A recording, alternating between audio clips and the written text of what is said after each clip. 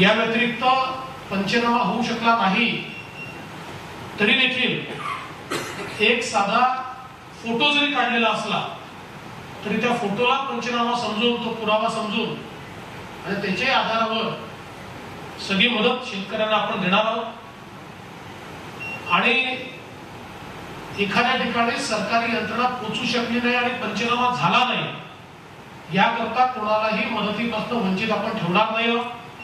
पण तथापि चांगल्या प्रकारे मदत करायची असल्यामुळे हे पंचनामे आपण करण्याचा निर्णय घेतलाय. कारण त्यातनं योग्य बाधित व्यक्तीपर्यंत योग्य ती मदत पोचते. आणि म्हणून माझी पहिली सूचना असेल की आता ज्याप्रमाणे ठरलं सहा तारखेपर्यंत शंभर टक्के पंचनामे हे सगळ्यांनी पूर्ण केलेच पाहिजे. आणि त्याकरता संपूर्ण फील्डची यंत्रणा त्याकरता विविध डिपार्टमेंटचे लोक पूल करण्याची गरज असली तर ती करता येईल. कृषी विद्यापीठाचे लोक आपल्याला त्या ठिकाणी त्यांची देखील मदत घेता येईल. ते कुलगुरू आहेत.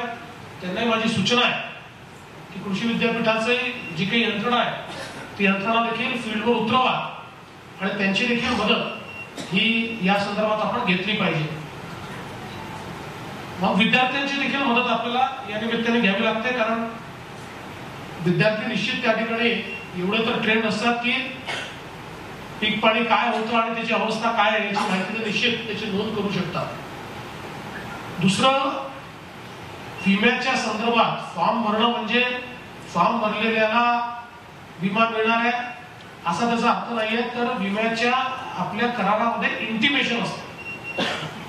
आणि इंडिव्हिज्युअल इंटिमेशन याकरता असतं की जिथे इंडिव्हिज्युअल इंटिमेशनने पैसे मिळतात तिथे जास्त मिळतात. पण आता सरसकट झालेला असल्यामुळे तसाही प्रॉब्लेम काही येणार नाही आहे सगळ्यांना ती मदत निश्चित मिळेलच. पण तरी देखील हे इंटिमेशन जे आहे हे इंटिमेशन ही टेक्निकल बाब असल्यामुळे त्या ठिकाणी आपल्या यंत्रणेने गावापर्यंत जाऊन हे इंटिमेशन त्या ठिकाणी तयार करून घ्यावं किंवा एनमास इंटिमेशन देता येईल का गावाचं? याचं देखील आपण त्या ठिकाणी चर्चा करून तो निर्णय करावा. ज्या ठिकाणी आपल्याला स्पष्टपणे दिसत आहे की संपूर्ण भाग बधित आहे त्या ठिकाणी एनमास अशा प्रकारचं इंटिमेशन देऊन आणि ते देखील आपल्याला करता येईल. पण हे शेतकऱ्याची जबाबदारी असं समजून नाही. ही आपली यंत्रणेची जबाबदारी आहे असं समजून हे काम केलं पाहिजे. काही ठिकाणी शेतकऱ्यांनी विम्याच्या पावत्या ठेवलेल्या नाहीत. पावतीचा आग्रह धरण्याचं कारण नाही. जर त्याच्या बँकेच्या अकाउंट मधनं पैसे गेलेले आहेत तर पावती नसली तरी त्याला विम्याचं कव्हरेज जे आहे ते मिळालं पाहिजे. या दृष्टीने आपल्याला फॅसिलिटेशन करावं लागेल.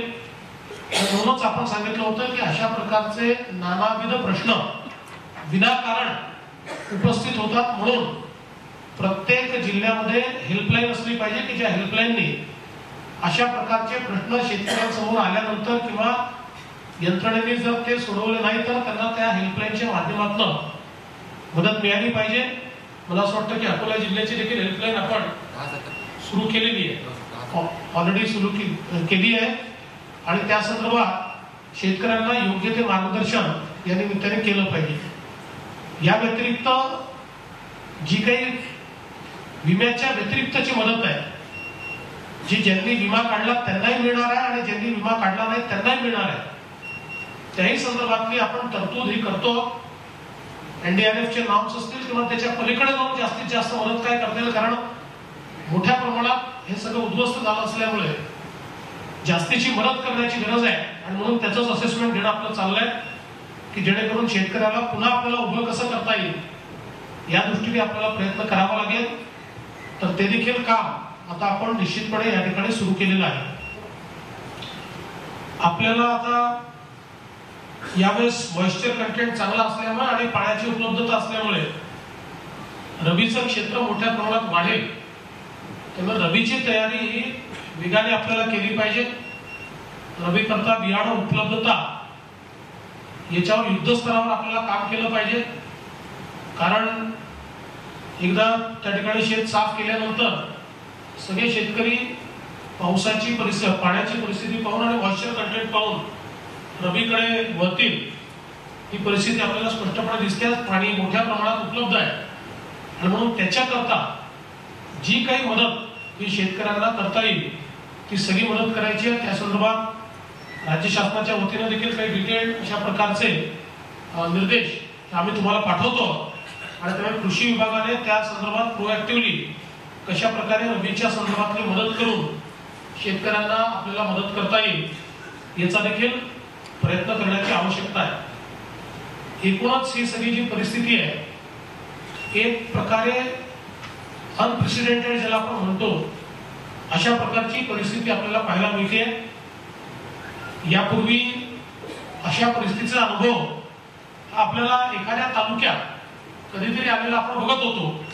पण ऑक्टोबर महिन्यात पूर्ण महिना पाऊस जवळजवळ चौदा दिवस पाऊस पडतोय. आणि आता अजून एक चक्रीवादळ आल्यामुळे कदाचित पुढचे तीन चार दिवस हा पाऊस कंटिन्यू राहील.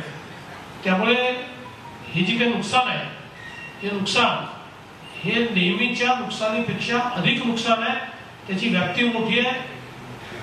आणि अनेक ठिकाणी काहीच हाती पडणार नाही अशा प्रकारची परिस्थिती आहे. म्हणून आपण सेन्सिटिव्हली याच्या मागे राहिलं पाहिजे. सरकार देखील पूर्णपणे याकरता तयारी करते. दोन खर्च बाजूला ठेवता आले तरी ठेवून शेतकऱ्याला मदत कशी करता येईल? हाच सरकारचा आता प्रयत्न या ठिकाणी असणार आहे. आणि त्याकरता जे काही मुख्य सचिव असतील वित्त सचिव असतील कृषी सचिव असतील आरएनआरचे सचिव असतील या सगळ्यांना त्या संदर्भात पूर्णपणे ऍक्टिव्हेट करण्यात आलाय. त्यामुळे मदतीचा ओघ हा सरकारच्या वतीनं आजपर्यंतचा सर्वात जास्त असेल. हे देखील मी आश्वस्त करू इच्छितो. आणि त्या दृष्टीने यंत्रणेने देखील ती योग्य लोकांपर्यंत पोहोचेल हा प्रयत्न केला पाहिजे. काही अपवाद निघतात की ज्या अपवादांमध्ये कुठल्याही प्रकारच्या नियमात ते बसत नाही कारण शेवटी सरकार आणि यंत्रणा या नियमांनी चालतात. पण असे जे अपवाद आहेत ते अपवाद देखील सोडायचे नाही आहेत असे जे अपवाद असतील त्या अपवादांना देखील मला असं वाटतं की कशा प्रकारे मदत करता येईल हा प्रयत्न केला पाहिजे. ज्याचं नुकसान झालं त्याला मदत ही मिळालीच पाहिजे. या दृष्टीने आपल्याला हे संपूर्ण प्लॅनिंग याचं करायचं आहे.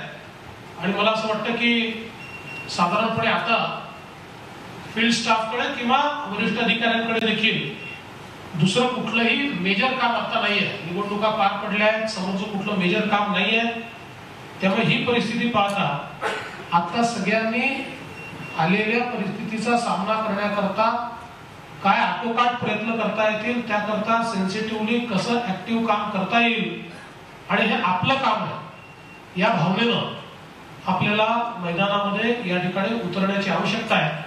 मला असं वाटतं की आपण सगळे लोक ऑलरेडी ऍक्टिव्हेट झाला त्यापेक्षा जास्त ऍक्टिव्हेशन कसं करता येईल याचा विचार आपण करा.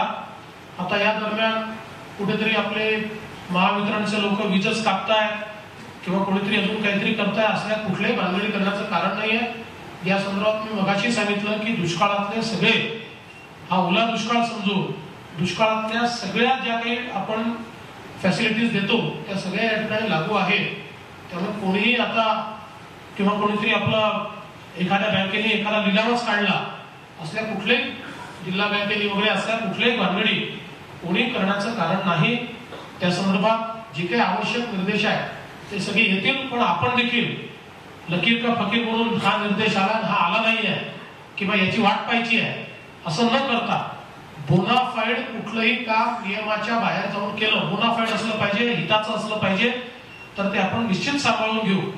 चुकीचं काम हे नियमाबाहेर जाऊन करायचं नाही पण चांगलं काम असेल योग्य काम असेल तर वेळप्रसंगी नियमाच्या पलीकडे जाऊन देखील मदत केली पाहिजे. त्याला नियमात कसं बसवायचं? याचा निर्णय हा शासनाच्या वतीने होईल आणि त्याचं प्रोटेक्शन देखील आम्ही निश्चितपणे आपल्याला देऊ. मला असं वाटतं की यापेक्षा जास्त सांगण्याची आवश्यकता नाही आहे आपण सगळे लोक आता मिशन मोडमध्ये शेतकऱ्यांना मदत करण्याकरता या ठिकाणी कामाला लागावं अशा प्रकारची आपल्या सर्वांना मी विनंती करतो. ही बैठक समाप्त झाली. मान्य मुख्यमंत्री महोदयांचे